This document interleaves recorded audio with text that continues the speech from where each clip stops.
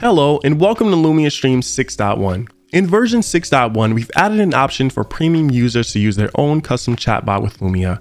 You can add your personal chatbot by heading to Connections, Add New Connection, Twitch Chatbot. We also have a new commands website at lumiastream.com slash commands, where your viewers can view all of the commands that they can use in your stream. You can choose to hide certain commands that show up by heading to Commands, Chat, and then edit your command. Make sure you uncheck the show this command in commands page to hide it. In this page, you can also add a description so that your viewers understand what this command does. We are also introducing the one and only... Mind if I take this one? Sure. Hey everyone, I'm sure you recognize my voice, but I'm Brian and I can now be used as a text-to-speech option all throughout Lumia, along with 16 other text-to-speech options, that has voices for French, German, Japanese, Russian, and Hindi.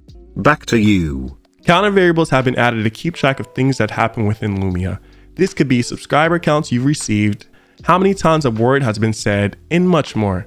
Our Twitter integration is getting a bit more powerful. We've added a few new variables as well as the ability to change your Twitter screen name. This will allow you to change your screen name automatically when you go live or offline, or give your chat the ability to change the screen name to something cool for a certain amount of Twitch points for instance.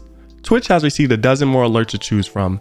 Polls, predictions, and goals have all been added along with variations for those alerts. Make sure you check out our Twitch extension. Version 0.3 is out now and it will allow you to add a description for your commands as well as require a prompt for the user similar to Twitch points along with setting cooldowns for your command extensions. For the coders out there, we've added a way to use custom JavaScript to implement any code your heart desires.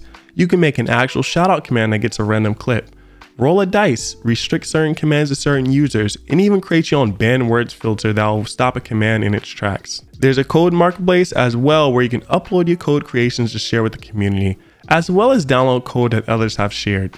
Of course, custom code is fully documented on our dev website. There's a lot more in version 6.1, so visit lumiastream.com slash releases to see the full release notes. Have a luminous day.